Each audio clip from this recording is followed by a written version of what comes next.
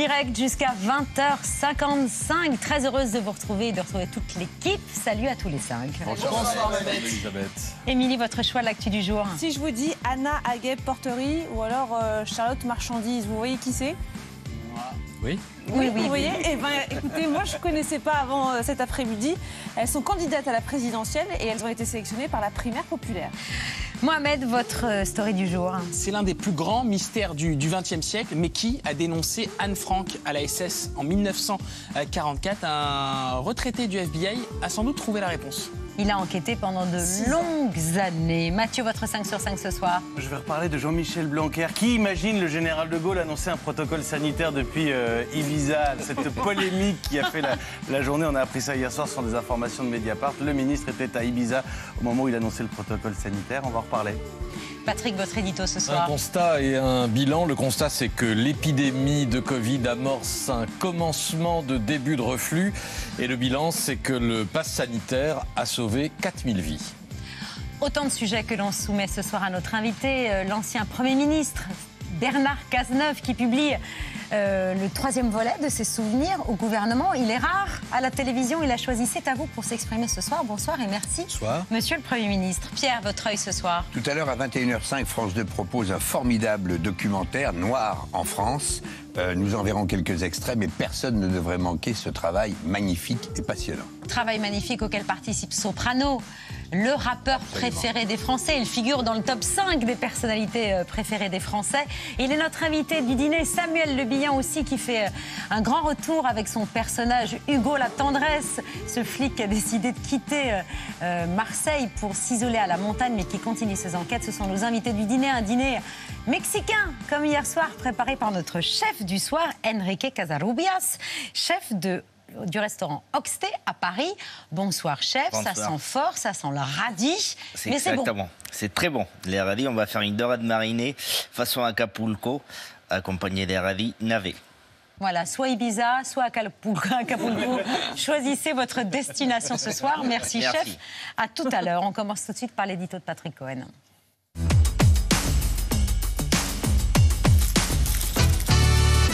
Un léger vent d'optimisme flotte sur la crise du Covid. Est-ce que ça suffit pour dire que la catastrophe annoncée n'a pas eu lieu? Non, les modélisateurs de l'Institut Pasteur ne se sont pas trompés. Ils avaient prévu un pic à la mi-janvier.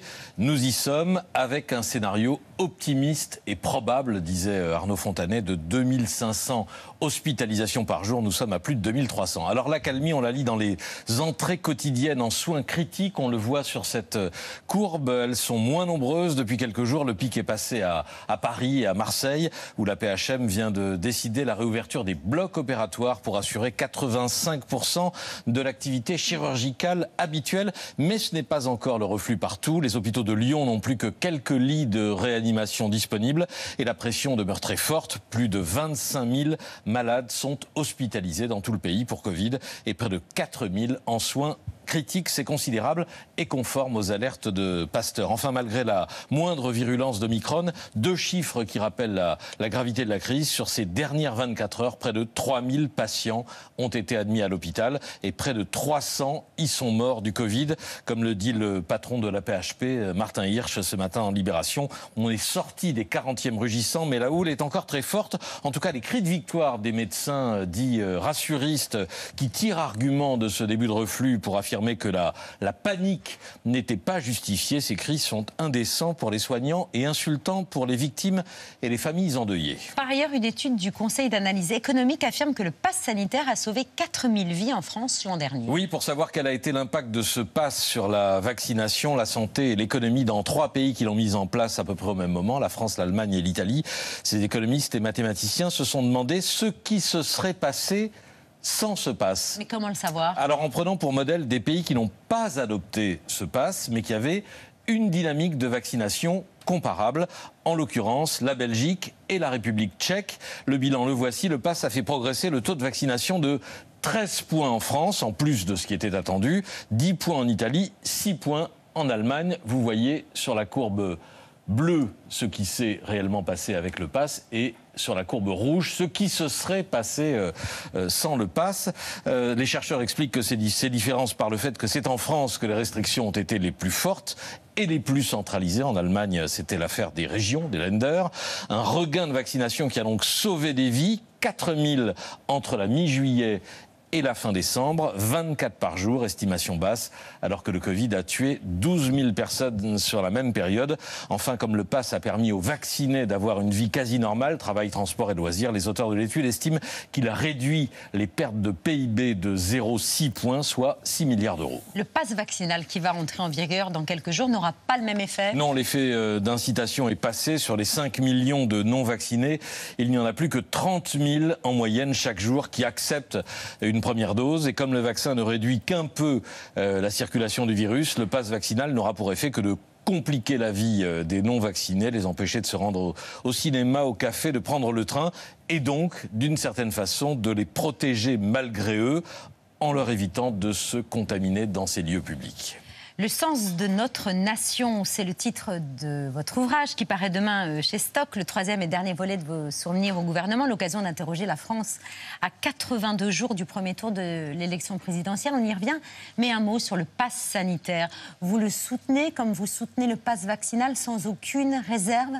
Non, je soutiens depuis le début de cette crise sanitaire l'action du gouvernement. D'abord parce que j'ai été moi-même au gouvernement et je sais à quel point ces crises euh, sont difficiles à gérer, à quel point cette crise en particulier l'a été pour des raisons qui tiennent au fait que euh, le gouvernement a dû agir dans un contexte où il ne maîtrisait pas, face à une crise inédite, la totalité des informations euh, scientifiques qui sont désormais connues de nous et qu'il a dû agir en s'adaptant en permanence, qu'il l'a fait avec euh, le souci de la protection des Français, qu'il a pris globalement les décisions qui devaient l'être et euh, quoi qu'on pense du gouvernement, qu'on soit dans la majorité, dans l'opposition, quand il y a des sujets de cette nature qui touchent à l'essentiel, on doit être capable euh, de s'ériger au-dessus des contingences politiques pour reconnaître ce qui doit l'être. Et je le fais sans me forcer. Un verbe symbolise cette bataille du pass vaccinal, un verbe d'abord utilisé par le président de la République et qu'utilisent aussi maintenant ouvertement certains médecins, comme l'urgentiste Mathias Vargon. C'était dimanche sur France 2. Des gens, euh, franchement, anti-vax, qui vous racontent des conneries sur le vaccin, la 5G, tout ça, c'est des conneries. Et on n'en a pas tant que ça. On a plutôt des gens qui sont pas bien informés et sur lesquels les anti-vax, euh, les médecins, les politiques, finalement, ils font, ils font peur avec le vaccin et les gens ne se vaccinent pas. Il faut des convaincre, toujours de la pédagogie pour vous Ouais, il faut de la pédagogie, mais ça dépend. Moi, j'emmerde, puisqu'on parle du président, moi, j'emmerde ceux qui mentent ceux qu'on voit à la télé, ceux qu'on voit sur les réseaux sociaux, ceux qui sont actifs, ceux-là, ouais, je les emmerde. Mais des gens comme ça, non, c'est nos patients. Parce que mes patients, c'est des victimes de ces gens-là. Emmerder, y compris jusqu'au bout, les anti-vaccins. C'est un langage approprié pour parler aux citoyens, Bernard Cazeneuve Moi, je ne l'aurais pas fait. Euh, je pense que... Quelle, surprise Je, je ne l'aurais pas fait pour la raison que je vais expliquer en quelques mots. Euh, je pense que euh, ce qui compte lorsqu'on est président de la République, c'est de trouver les mots pour convaincre ceux qu'on n'a pas réussi à séduire, ou ceux qu'on n'a pas réussi à convaincre. Euh, et ce qui compte, c'est le résultat, c'est de finalement parvenir à ramener à la juste position, à la position raisonnable, ceux qui sont réfractaires. Et je ne pense pas que la mise sous tension de ceux qui sont réfractaires soit la meilleure manière pour atteindre le but de les convaincre mais ça n'est que mon opinion. Je peux me tromper, mais souvent mais ça participe de l'abaissement du débat public que vous dénoncez dans votre livre, euh, euh, l'outrance, le manque de hauteur, on disrupte, on s'affranchit, on transgresse volontiers, mais on est moins sage. Et moi, je pense que ça ne procède pas en tous les cas d'un rehaussement de la parole publique, mm. ni d'une élévation du débat que de s'exprimer ainsi. Je pense qu'il ne faut pas le faire. Et je comprends très bien qu'un président de la République puisse être euh, énervé de voir dans un contexte particulièrement difficile qui le mobilise et le sollicite chaque jour qu'il y a des citoyens euh, réfractaires à entendre ce qu'il a à dire, mais c'est ainsi la démocratie. Mm. On ne parvient pas tous les jours à faire l'unanimité, y compris sur les sujets les plus graves. Et quand on n'y parvient pas, il vaut mieux euh, trouver les mots qui euh, témoignent du respect que l'on a pour l'ensemble de ses concitoyens, y compris ceux qui ne pensent pas comme on pense soi-même, pour parvenir à les convaincre. Je, je ne suis pas, mais peut-être est-ce que je suis extraordinairement démodé, hein, euh, c'est possible. je ne trouve pas qu'il y ait dans la convocation euh, des mots qui heurtent, euh, qui font du bruit, euh, qui euh, contribuent au vacarme et qui euh, permettent euh, d'être convaincus qu'on est dans la disruption, une forme de langage politique qui soit de nature à confronter, à approfondir la démocratie. Oui, sauf que dans le cas d'espace, il ne s'agit pas de conviction, il s'agit de contrainte. Et c'est la question qui euh, continue de nous agiter à propos de cette épidémie sur la liberté des, euh, sur la limitation des libertés individuelles. J'ai peur que l'utilisation du mot emmerdé ait poursuivi un autre objectif que celui de contraindre, c'est-à-dire qu'il ait pu poursuivre l'objectif de cristalliser euh, autour de soi un certain nombre de Français qui sont agacés par le comportement de ceux qui, met- qui peuvent mettre en danger la vie d'autrui en refusant de euh, se, se vacciner, qu'il y ait dans cette affaire une part de calcul. Et le calcul euh, sur les sujets importants, plus euh, la convocation euh, des mots qui n'ont pas à l'être, je pense que ce n'est pas une bonne stratégie. Et s'il s'agit de contraindre, euh, la stratégie du gouvernement, euh, encore une fois que je soutiens, m'apparaît être au long cours la bonne stratégie, c'est-à-dire la pédagogie, la conviction, les bonnes mesures. Et encore une fois, je dis ce que je viens de dire sur le, mot utilisé avec d'autant plus de liberté que chacun aura bien compris que sur des sujets de cette nature, je ne suis pas euh, enclin, euh, euh, sous prétexte que je suis dans l'opposition, euh, à convoquer à mon tour toutes les outrances pour m'opposer à ce que le gouvernement propose lorsque ce qu'il propose est justifié. Dans le sens de notre na- nation, vous revenez sur les mois qui ont précédé la candidature d'Emmanuel Macron à la présidence de la République. Vous avez compris, avant d'autres, qu'il s'y préparait, tant il cherchait, écrivez-vous, à se distinguer sur presque tous les sujets avec, je vous cite, pour objectif d'empêcher une nouvelle candidature de François Hollande. Vous le comprenez très vite, mais vous n'en parlez pas au président. Vous le regrettez J'en aujourd'hui parle à l'intéressé. C'est-à-dire que Ah, j'ai dit à Emmanuel Macron. Macron assez vite ce que je pensais de cela. Euh, Ça contribuait d'ailleurs à, à instaurer une distance entre lui et moi. Et vous lui dites quoi? Je lui dis que je pense qu'il va se présenter contre le président de la République, que compte tenu de ce qu'est ma conception de l'État, je ne saurais en aucun cas l'accompagner et de la loyauté. Et- mais je n'en parle pas au président de la République parce que d'une part, je peux me tromper. Euh, et si je me trompe en en parlant au président de la République, je vais instaurer entre le président de la République et son ministre de l'économie et des finances, entre les- lesquels existait une relation euh, de confiance et je crois même d'affection, euh, dissonances, et je n'y tiens pas. Et ensuite, parce que le ministre de l'Intérieur n'est pas là pour jouer les petits rapporteurs. Euh, le ministre de l'Intérieur est là pour s'occuper de la sécurité des Français et pas pour engendrer dans l'appareil d'État des tensions et des isanies. Et ensuite, parce que, euh, je, le, je le dis dans le livre et j'ai eu l'occasion de le dire à plusieurs reprises concernant le président Hollande, c'est un homme d'une grande intelligence et d'une grande intuition. Par conséquent, j'imagine qu'il sent parfaitement lui-même ce qu'il n'a pas besoin d'entendre de ma voix. Il faut à la nation un gouvernement qui ne soit pas composé que de collaborateurs serviles, fébriles, à l'idée de tout perdre en prenant le risque d'offenser le prince. Ni le général de Gaulle ni François Mitterrand ne redoutaient les esprits forts et les caractères francs à leur côté. Emmanuel Macron est un prince entouré euh, de collaborateurs serviles et fébriles? Je pense qu'il y a un phénomène qui s'est développé depuis le quinquennat et qui a engendré une espèce de fébrilité présidentielle pour des raisons qui tiennent au fait que le temps du mandat s'est raccourci et que la position du, arbitrale du président de la République s'est altérée. Il y a une tendance à la verticalisation du pouvoir et à l'atrophie euh, des institutions de la Ve République pour des raisons, à mon, sens, qui tiennent au quinquennat et au rythme que le quinquennat impose. Et euh, Emmanuel Macron n'est pas celui qui a théorisé le fait que les ministres et les premiers ministres étaient des collaborateurs. C'est Nicolas Sarkozy qui l'a fait et qui fut le premier d'ailleurs à être euh, confronté euh, au rythme et à la temporalité du quinquennat. Et ce n'est pas la République que je trouve la plus riche, euh, la plus dense euh, et la plus intéressante à vivre. La République intéressante à vivre, notamment au gouvernement, est celle dans, dans laquelle le président de la République est garant de l'essentiel, à ce recul, cette distance et cette position arbitrale. Et c'est précisément parce qu'il a cette hauteur, cette puissance, ce surplomb, qu'il peut s'autoriser d'avoir autour de lui des personnalités fortes dont il n'a rien à redouter. Euh, le général de Gaulle avait autour de lui ce qu'on appelait les barons du gaullisme, ce n'étaient pas des personnalités faciles.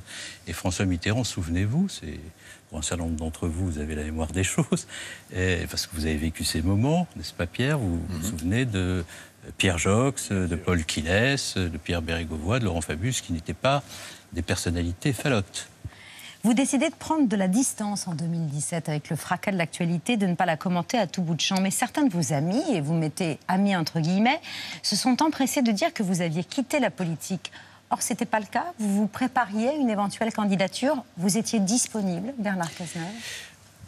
Lorsque j'ai vu la tournure que prenaient les choses euh, au plan national, c'est-à-dire j'ai senti qu'il y avait euh, un risque d'abaissement du débat, politique, que l'outrance, euh, la confrontation sur tous les sujets, sur toutes les questions, finissait par s'imposer, que la gauche était à la peine, je me suis dit que je pouvais peut-être être utile. Mais j'ai très vite compris que la ligne qui était la mienne n'était pas celle qui recevait l'assentiment du plus grand nombre de ceux qui, dans les appareils, euh, étaient en charge de faire évoluer euh, les organisations politiques. C'est-à-dire au Parti Socialiste Notamment, mais pas seulement. Je n'avais pas non plus beaucoup d'amis dans les autres organisations. Moi, je considérais qu'il fallait être euh, intransigeant sur les questions républicaines, que l'unité et l'indivisibilité de la République n'étaient pas négociables et que la politique, quand on était à gauche, ne pouvait pas consister à courir après des segments de la société comme on court après autant de clientèle et que nous devions, nous, pour des raisons qui tenaient euh, au risque de confrontation dans la société française, être les garants de ce qu'était l'héritage républicain. Je pensais que la social-démocratie appelait de la pondération, de la modération, de la sagesse, du sérieux, et que nous n'étions pas nécessairement obligés sur toutes les questions de nous positionner aux marges en prenant les postures les plus radicales. Et je pensais enfin que euh, l'urgence climatique dictait sur les questions environnementales de chercher les positions à la fois les plus efficaces et les plus praticables pour essayer de faire en sorte Mm. que justice sociale et euh, protection et sauvetage de la planète ne s'opposent pas. Mais je n'ai pas euh, recueilli sur cette ligne. Il y a beaucoup de soutien. On m'a très vite signifié que il fallait euh, rompre avec euh, ceux qui avaient exercé des responsabilités dans le quinquennat précédent et dans tous les autres quinquennats ayant précédé le quinquennat précédent, que le temps était venu d'une nouvelle génération qui savait y faire, et n'ayant pas d'addiction à la politique, n'ayant pas d'obsession du pouvoir, ne considérant pas que euh, rien ne pouvait se faire sans que je sois euh, au milieu de la piste de danse. J'ai avec sagesse considéré que les messages qui m'étaient envoyés étaient suffisamment clairs pour que je laisse ceux qui aspiraient à tenir le manche de le faire, sans pour autant euh, être habité par une quelconque amertume, puisque vous avez remarqué que quand on me demande un service, je suis là pour le rendre, car je reste malgré cela fidèle à ma famille politique, parce que, vous le savez bien, je suis socialiste. Et vous soutenez Anne Hidalgo. Mais quand on lit vos dernières pages, euh, on a l'impression que vous n'êtes pas seulement un déçu de la gauche, mais plus généralement un déçu de la politique, comme elle se fait aujourd'hui, euh, Bernard Cazeneuve. Je suis triste de voir la manière dont les choses ont évolué. Je suis triste euh, de voir dans un pays qui est menacé de confrontation. J'ai été ministre de l'Intérieur au moment de la crise terroriste. Donc j'ai vu ce que pouvaient produire des paroles qui, plutôt que d'apaiser, cherchent systématiquement à mettre de l'huile sur le feu. J'ai vu aussi euh, la stratégie de ceux qui font de la mise sous tension du pays et de la recherche de la confrontation à l'intérieur du pays, le moteur de leur propre euh, démarche politique. J'ai vu ce que euh, la sacralisation de la radicalité sur tout sujet et en toute matière pouvait euh, occasionner d'incompréhension, d'incapacité de débattre, de dialoguer et de respecter la position de l'autre si elle est différente. Donc je vous confirme que tout ça m'a profondément attristé. Et d'ailleurs, si j'apparais de, temps à autre, pas trop souvent, pour n'irriter personne et ne pas lasser l'auditoire, pour dire ce que je crois juste, c'est précisément parce que euh, ceux qui ont euh, le goût de la nuance, le sens de la pondération et la volonté de faire en sorte que le respect s'instaure de nouveau euh, dans le débat public doivent pouvoir de temps en temps, sans trop insister, dire ce à quoi ils croient. Ce que je fais ce soir. Euh, vous avez choisi de ne pas rentrer sur la piste de danse, piste de danse qui est euh, assez comble euh, des candidats à gauche. Il n'en manque pas. Dernière en date, Christiane Taubira, invitée ce matin de France Inter. Tout le monde est persuadé que l'union de la gauche est nécessaire. Pour ma part, j'ai essayé. Euh, j'ai essayé, j'ai pris quelques initiatives, j'ai appelé les personnes. Euh, cela n'aboutit à rien. J'ai constaté le spectacle de personnes qui se crispaient, chacun sur son aventin, persuadés que l'union est indispensable, mais que l'union ne se conçoit que derrière soi. Mais alors, Constatant mais cela, en- j'ai pris ma responsabilité, et ma responsabilité, c'est quand même de prendre le maximum de risques. Christiane Taubira aurait dû-elle aurait, aurait-elle dû s'abstenir comme vous? Ben, je pense que si la préoccupation euh, d'un certain nombre d'acteurs, euh, et non des moindres de la gauche, est de faire en sorte qu'il n'y ait pas davantage de division euh, en multipliant les candidatures, il faut éviter de multiplier les candidatures pour éviter qu'il y ait davantage de divisions. Je pense que c'est un raisonnement assez simple auquel euh, les téléspectateurs devraient pouvoir accéder aisément. Et toute cette situation à gauche me fait penser à l'administration lorsqu'elle invente le guichet unique. Euh, J'ai vu beaucoup ça dans l'administration. Lorsque l'administration n'a plus d'imagination, généralement, elle vous sort le guichet unique. Et quand l'administration a inventé le guichet unique, vous avez autant de guichets qu'avant l'invention du guichet unique, plus un, le guichet unique. Eh bien, nous en sommes là. Certains électeurs, en tout cas, auraient bien aimé un, guichet unique. Ils ne l'ont pas, mais ils ont euh, cru trouver la solution avec euh, la primaire populaire. Alors, le principe, ce sont donc des citoyens qui l'organisent et qui choisissent les candidats euh, qui veulent soumettre au vote de cette primaire, que les candidats le veuillent ou non. Et parmi ceux qui ne veulent pas, il y a donc les principaux candidats de gauche, Yannick Jadot, Jean-Luc Mélenchon, Anne Hidalgo, donc qui ne souhaitent pas participer à cette première populaire. Et puis il y a ceux qui le veulent, donc Christiane Taubira, on l'a vu, qui s'est engagé à se soumettre euh, aux résultats de cette primaire. Mais il y a aussi le député européen Pierre Larouturou et deux inconnus du grand public, Anna Aguep-Portery et Charlotte Marchandise. Bonjour, je m'appelle Anna Gueportery, j'ai 23 ans et je me présente à l'élection présidentielle. Bonjour à toutes et à tous.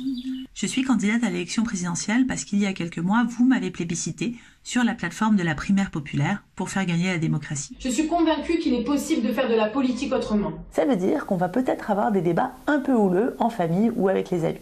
Pour ça, une solution, le démocratol, qui lutte efficacement contre l'impuissance électorale.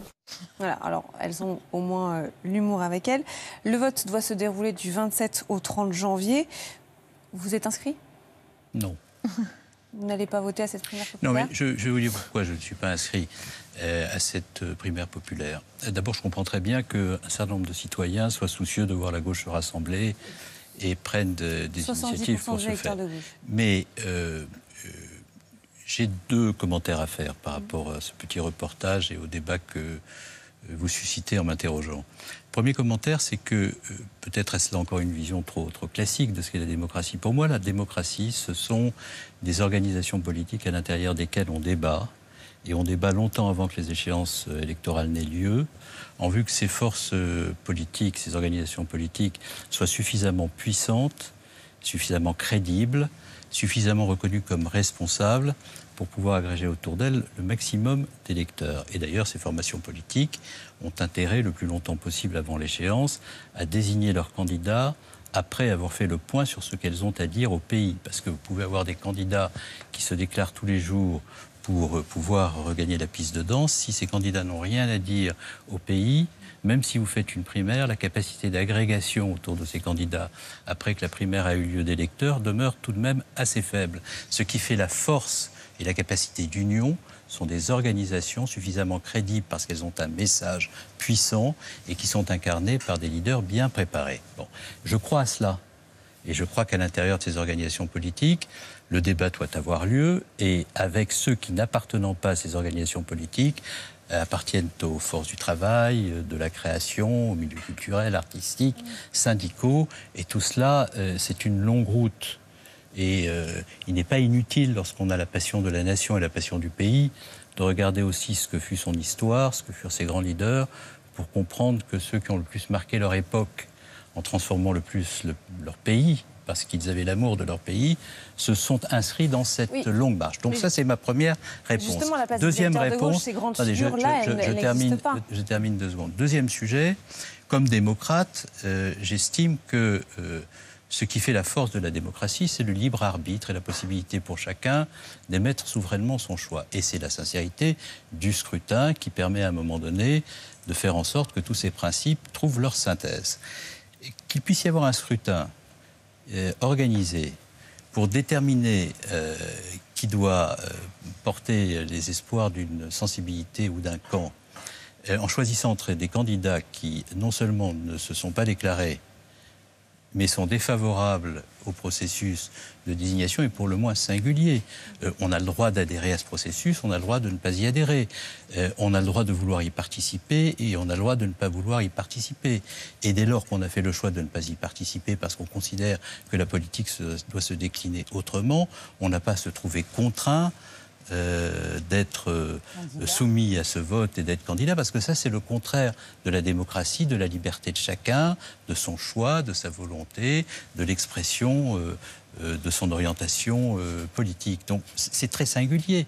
On ne peut pas trouver un sursaut démocratique, une respiration démocratique à travers un dispositif qui commence par une forme de contrainte à l'égard de ceux qui, à tort ou à raison, je ne me prononce pas sur le fait de savoir s'ils ont raison ou pas de vouloir s'engager dans cette primaire, mais ont refusé d'y participer. Donc tout ça traduit quoi?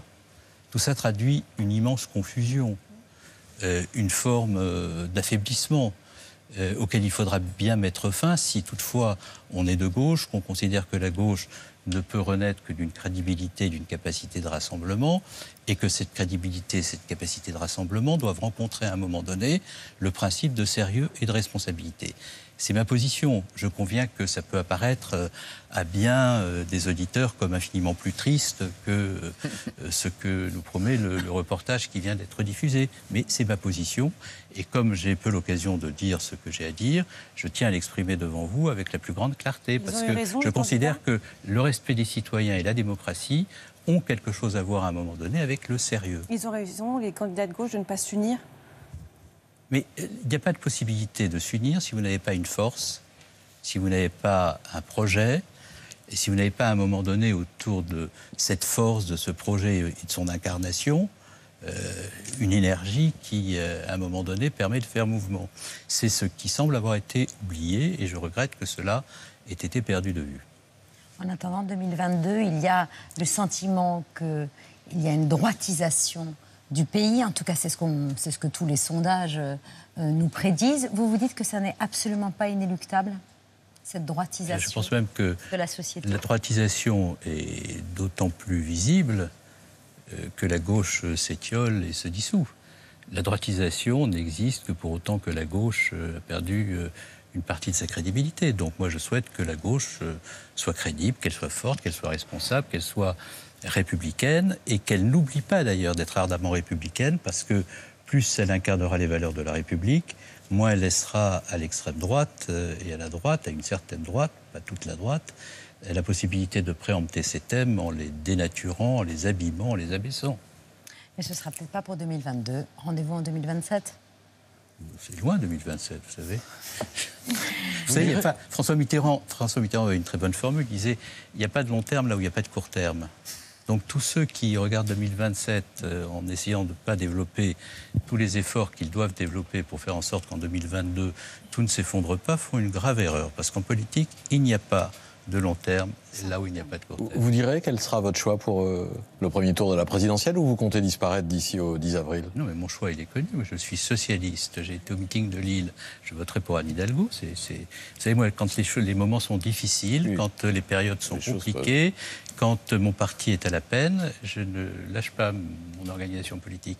Il y a des acteurs politiques qui changent de famille en fonction de ce qu'est leur intérêt ou leur avantage. Moi, je ne fais pas ça j'ai une fidélité, une loyauté. Ça ne veut pas dire qu'avec Hidalgo, je ne puisse pas avoir euh, des discussions euh, euh, sur certains aspects de son programme, sur certains choix qu'elle a pu opérer. Ça, c'est notre relation et c'est ma franchise. Mais je suis socialiste. Vous restez avec nous, on continue à évoquer l'actualité avec Mohamed Bouabsi.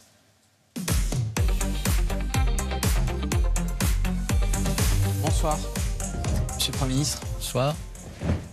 Vous évoquez avec nous un mystère, une énigme.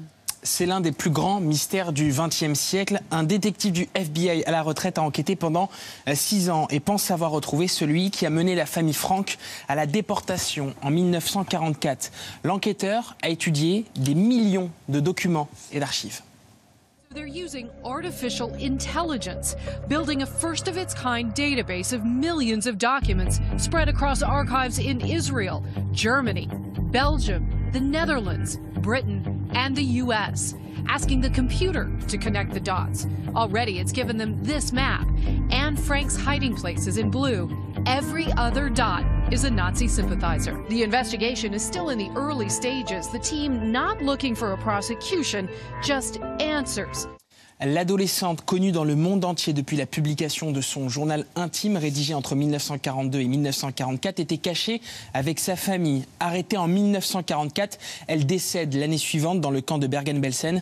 Son journal intime a été lu par près de 30 millions de personnes, mais personne n'a jamais su qui était le responsable du raid qui a révélé l'annexe où se cachait la jeune fille. Vincent Pancock du FBI nous explique comment il a mené l'enquête. We had to come up with a new blueprint using tried and true cold case methodology, but we had to create a new blueprint for the investigation because it was 75, almost 75 years old at that point. We formed a multidisciplinary team of researchers, historians, um, archivists, and then, you know, utilizing modern police technology, forensic investigation of the note, um, uh, behavioral science, and, and also something as that we take for granted today, the internet. Dans les radars de l'équipe d'enquêteurs, un nom, celui d'un notaire juif Vandenberg, décédé en 1950, membre fondateur du Conseil juif, organe administratif que les nazis ont utilisé afin d'obtenir et d'organiser les déportations. Ce notable aurait trahi les Francs pour éviter sa propre déportation ainsi que celle de sa famille. Donner une réponse à ce mystère, c'est l'un des objectifs de vie du réalisateur du documentaire. I suspect when this is revealed, people around the world are going to be uncomfortable with the idea that a Jew betrayed another Jew. I hope so. You hope they will be. Yes, because it shows you how bizarre the Nazi regime really operated and how they brought people to do these terrible things. The, the real question is, what would I have done? That's the real question. Les révélations autour de cette affaire euh, provoquent d'autres questions pour la, la direction du musée Anne Frank qui demande aujourd'hui une enquête approfondie.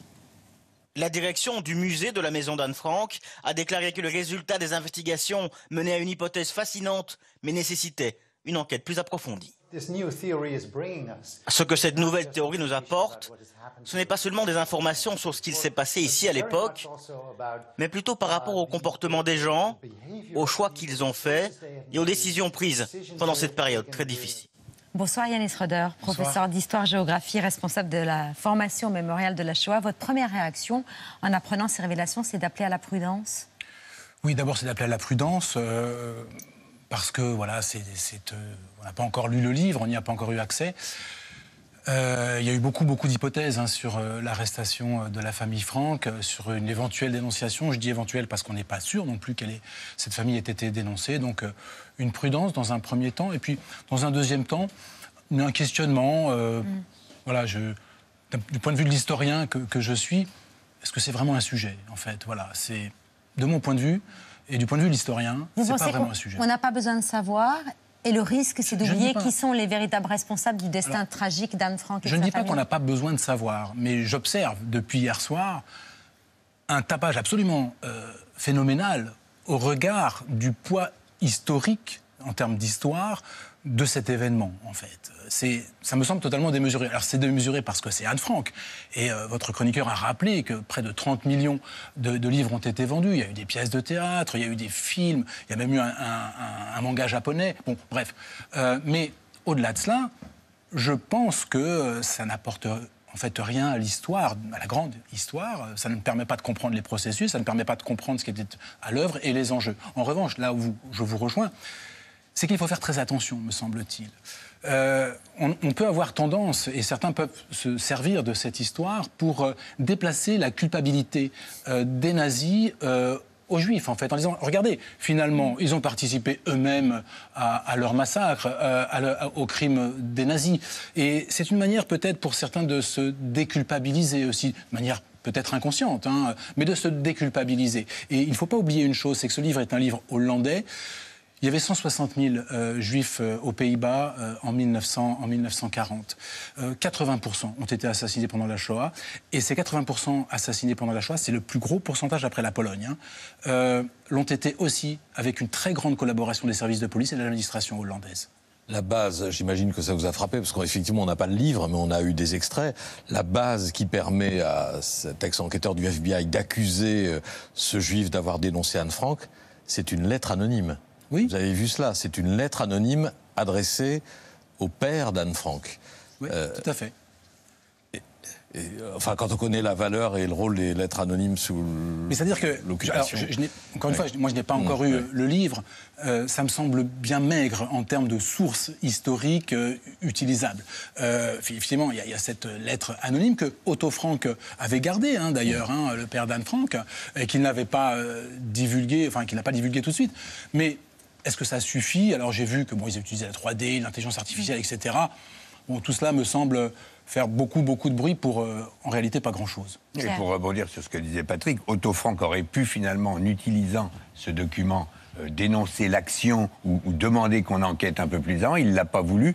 Est-ce que ce peut être euh, parce qu'il ne pensait inconcevable qu'un juif ait dénoncé sa fille juive? Je ne sais pas, mais vous savez, euh, c'est pas une question nouvelle, en fait, même dans l'historiographie. Dès les années 50 en Israël, la question se posait de savoir si les conseils juifs qui avaient été mis en place par les nazis, parce que ce sont les nazis qui ont mis euh, ces choses en place et qui ont poussé des gens à- à- à- dans des situations absolument abominables, euh, à faire des choix absolument terribles.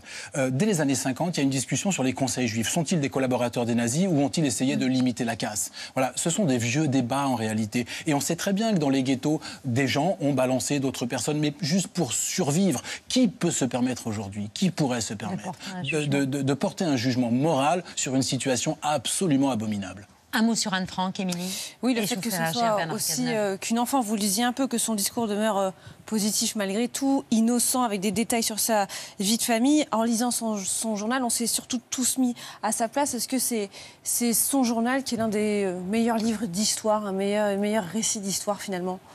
Alors, je ne sais pas si c'est un, des meilleurs récits d'histoire. C'est un récit qui frappe, parce qu'effectivement, quand on lit Anne Frank, on, on est tous, euh, euh, garçons ou filles d'ailleurs, euh, tentés de se mettre à sa place et de s'imaginer ces deux ans dans ce réduit, comment moi j'aurais vécu à sa place? Et puis on sent l'éveil, l'éveil de l'adolescente, on sent cette innocence, cette, et, et dans cette, cette- cette capacité aussi extraordinaire qu'elle a à réfléchir, à penser, à écrire.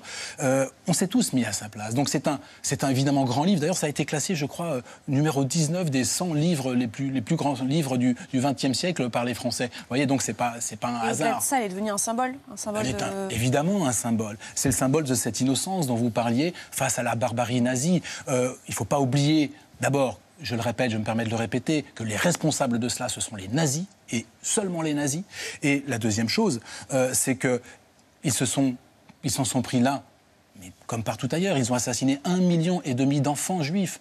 Euh, ils s'en sont pris là au symbole de l'innocence, en fait. C'est la barbarie contre l'innocence. Bernard Cazeneuve, une réaction? Non, je pense que ce qui vient d'être dit est exactement ce que j'éprouve à chaque fois qu'on évoque ces, questions de façon très, très profonde. C'est le combat entre la barbarie et l'innocence et la monstruosité de ce que la barbarie a pu construire, de, comportements, de, de processus pour aboutir à l'élimination euh, de tout un peuple. Euh, et par ailleurs, ce débat que nous avons renvoie à ce que sont les faits de l'histoire. hein, sur euh, le sujet dont on parle à l'instant, il y a eu des débats au cours des dernières semaines sur euh, des régimes qu'on a eu tort de mettre au banc de l'histoire au motif qu'ils auraient protégé des euh, Français euh, juifs en livrant, qui aurait etc., sauvé des etc. juifs Bon. français. Bon, exactement. Donc, Éric Zemmour doit être jugé en appel ce ce, que je, jeudi. ce que je veux dire à ce sujet, c'est que la seule chose qu'il faut retenir est le regard très clair de, euh, de Simone Veil nous le rappelait en permanence, qui, qui portait en lui toute cette euh, souffrance accumulée avec euh, cette immense pudeur, cette grande dignité, cette retenue constante. La monstruosité était là pendant cinq ans avec cette barbarie abjecte et cette volonté d'exterminer tout un peuple et, et- et de le faire avec euh, vraiment une, cruauté, une monstruosité convoquée à chaque instant. C'est la seule chose qu'il faut retenir. Jeudi, ce, ce procès en appel pour contestation de crimes contre l'humanité, c'est c'est le fait que Éric Zemmour avait affirmé que le maréchal Pétain avait sauvé les juifs français. Oui, les historiens, euh, aujourd'hui, les plus sérieux, nous disent tous que jamais le maréchal Pétain n'a sauvé les juifs français. Ce qui s'est passé, c'est que euh, le maréchal Pétain et le régime de Vichy ont eu l'opportunité de se débarrasser, et j'emploie à dessein ce terme, des juifs étrangers. Euh, dans un premier temps, il ne s'agit pas de sauver les juifs français, il s'agit de se débarrasser des juifs étrangers. D'abord. Merci beaucoup Yannis Reder d'être venu ce soir. Je rappelle euh, votre ouvrage Sortir de l'ère victimaire pour une nouvelle approche de la Shoah et des crimes de masse. C'est sorti chez Odile Jacob en 2020. Merci de votre présence. Merci Mohamed. C'est l'heure du 5 sur 5 de Mathieu Béliard.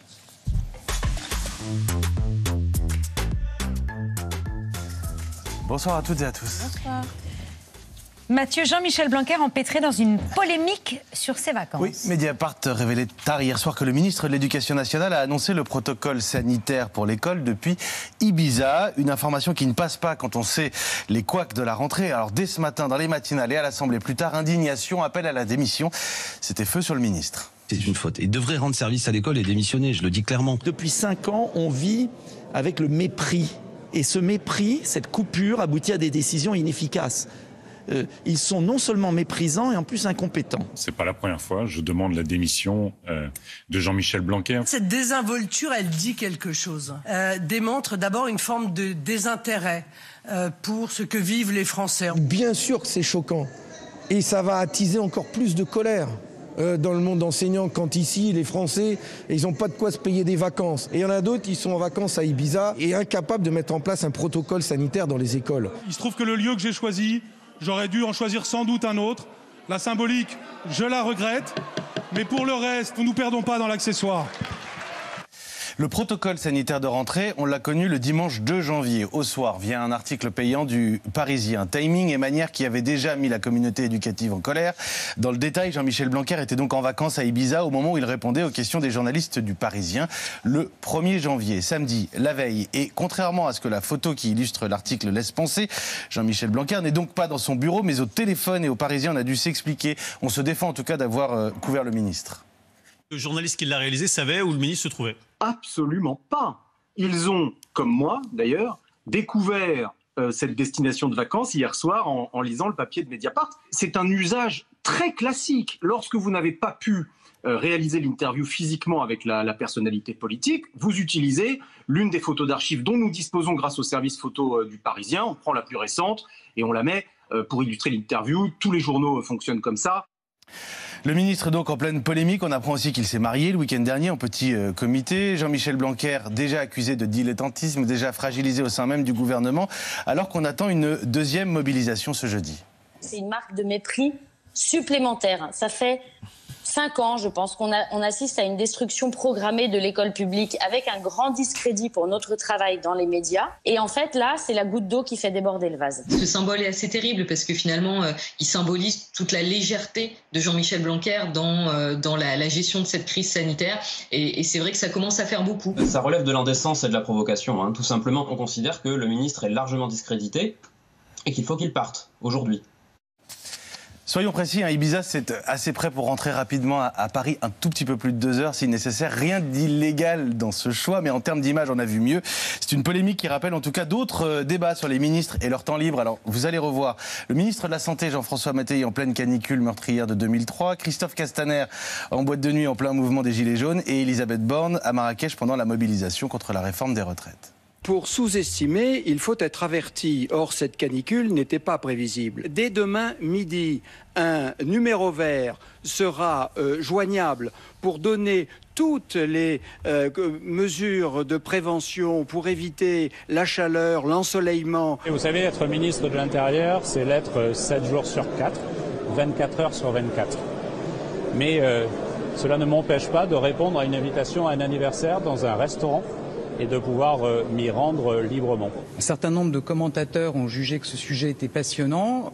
Moi, je suis convaincu que savoir comment j'ai passé Noël avec mes proches passionne pas les Français. Ce ce qui leur importe, c'est qu'on soit tous mobilisés pour eux, et c'est bien le cas.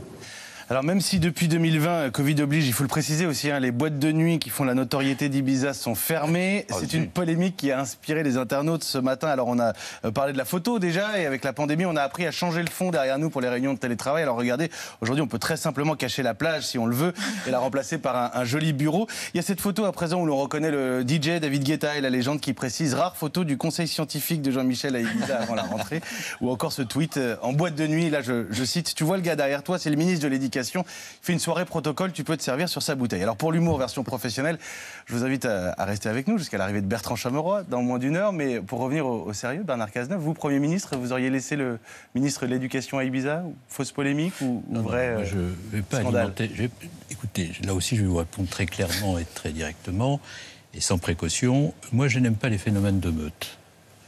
Quand euh, une personnalité, euh, en une journée, est attaquée par euh, la plupart de la classe politique et journalistique par tempérament d'avocat, je n'en rajoute pas.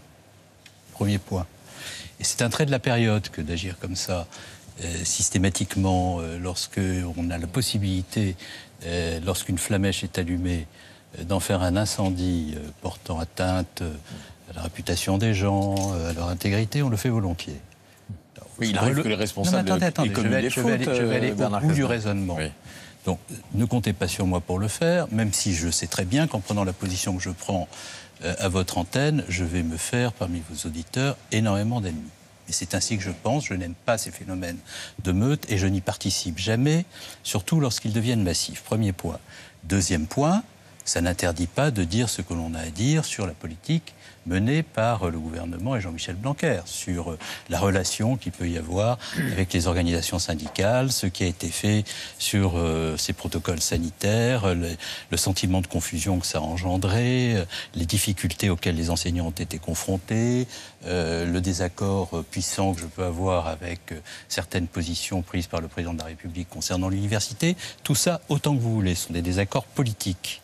Et ces désaccords politiques doivent être exprimés clairement, et je ne suis pas euh, favorable euh, à la manière dont le ministre a pu conduire les discussions avec les organisations syndicales et mener les discussions concernant le protocole sanitaire. C'est là le plus important. Pour le reste, il y a suffisamment de commentateurs qui y vont euh, de leurs propos pour que j'en en rajoute pas. Je déteste les phénomènes de meute.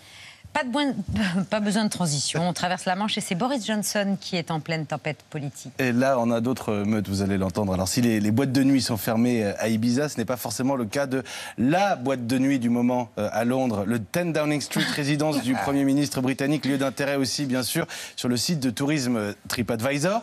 Mais sur le site, on trouve des commentaires comme celui-ci. Une des meilleures boîtes secrètes de Londres. Ils disent euh, d'emmener sa bouteille, mais ne vous inquiétez pas, il y a du fromage et du vin. Ou cet autre message amusé, la meilleure et la seule fête de Londres. Des commentaires humoristiques, bien sûr, mais qui font suite aux diverses polémiques sur des fêtes clandestines organisées malgré la pandémie. Alors, on vous a raconté le pot de Noël 2020 qui avait coûté son poste à la porte-parole du gouvernement. On vous a raconté la garden party printanière en plein confinement. Aujourd'hui, Boris Johnson s'excuse à nouveau. I can tell you categorically, categorically, that nobody told me, and nobody, nobody said that uh, this was something that was against the rules. My memory of this event, as I've said, is going out into the garden for about 25 minutes for what I implicitly thought was a uh, a work event. Um, you know, I, I do humbly apologise to people for uh, misjudgments that were made. Alors on voit là euh, maintenant une liste de fêtes et de dates et de lieux du mois de mai 2020 à avril 2021, des événements cités par les journalistes anglais, les jardins et l'intérieur de la résidence des bureaux du Premier ministre, les ministères des Transports et de l'Éducation, et même une fête au sous-sol de Downing Street le 16 avril. Le 16 avril, veille des funérailles du prince Philippe, les médias britanniques se souviennent que la reine elle-même avait dû rester seule, isolée au moment de l'enterrement de son mari. Euh, on retrouve euh, en ce moment cette photo touchante de la reine euh, en noir. Alors l'effet est dévastateur sur l'opinion. Vous allez voir que les excuses de Boris Johnson, ça ne suffit pas aux députés britanniques. Will the Prime Minister, for the good of the country, accept that the party is over and decide to resign? Is he now going to do the decent thing and resign? Do the decent thing and resign, or will his Tory MPs be forced to show him the door? Il y a la polémique et le sérieux qu'elle implique. Il y a aussi ceux qui arrivent à s'amuser de cette affaire, comme ce flash mob devant le 10 Downing Street, une mobilisation éclair de faux fêtards, très bien déguisés en Boris Johnson.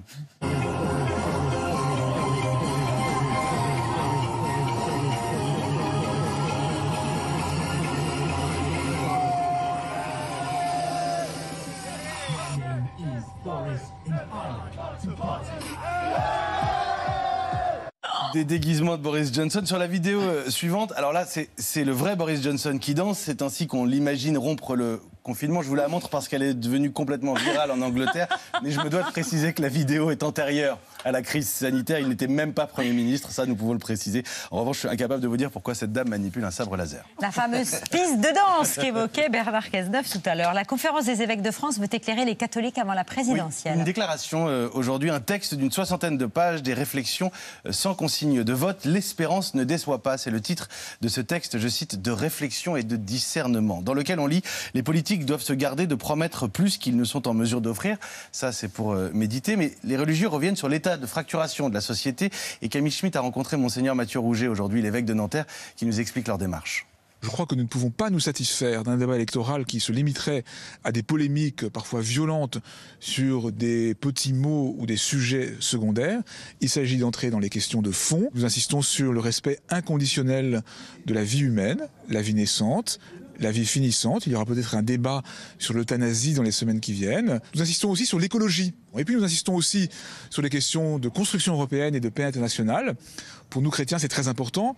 Chacun, nous sommes euh, dans l'humanité tout entière et nous ne pouvons pas nous désintéresser de l'humanité tout entière.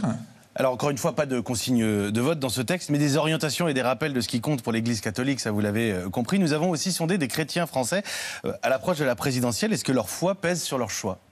Je ne demande pas à l'Église euh, de me donner son avis. Ça, c'est moi. Je ne partage pas toutes les convictions de, l'Église catholique. J'ai mes propres convictions et en tant que femme, euh, le droit à l'avortement, c'est essentiel. Ma foi, en gros, c'est un peu comme mon ADN. C'est la manière dont je pense. Hein. L'État et la religion euh, sont séparés. Ma religion n'influence pas du tout sur mes idées politiques. Je suis chrétien, donc je mets une place prépondérante à la, à la vérité, à l'amour, à des genres de valeurs comme ça qui sont indispensables pour moi et qui vont influencer nécessairement ma manière de, de voter. Pour moi, la, partie euh, euh, chrétienne est complètement euh, décorrélée de la partie citoyenne. Ah Alors, contre l'abstention, je le précise aussi, les évêques soulignent que c'est un devoir pour les catholiques que de voter, même si c'est un vote blanc.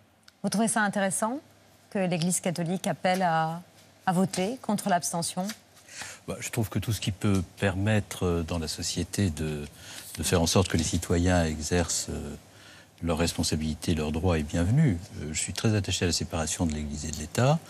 Je ne souhaite pas que ceux qui euh, sont dans la sphère religieuse interviennent trop sur les questions politiques. Et je souhaite même qu'ils n'interviennent pas du tout sur les questions euh, politiques. Mais lorsque parfois les circonstances le justifient, ça a été le cas pendant les attentats, la parole des représentants des cultes a été une parole apaisante, elle a été fort utile. Donc je considère que lorsqu'on est euh, dans un culte et qu'on a une parole qui porte sur des sujets essentiels, on peut contribuer à l'apaisement de la société. Et par exemple, je le raconte dans le livre, euh, au moment de, l'attentat de Saint-Étienne du Rouvray, l'Église catholique a été absolument remarquable par la parole portée par les évêques. Le sens de notre nation entretient avec François Bazin le troisième volet des souvenirs de Bernard Cazeneuve qui soutiendra donc Anne Hidalgo euh, au premier tour euh, pour cette élection 2022. Anne Hidalgo crédité de 3% des sondages. C'est au niveau de Fabien Roussel. Merci beaucoup Yanis Roder d'être venu ce soir sur le plateau de C'est à vous. C'est une drôle de conclusion. Je rappelais des chiffres pour conclure. Dans un instant, Soprano est notre invité.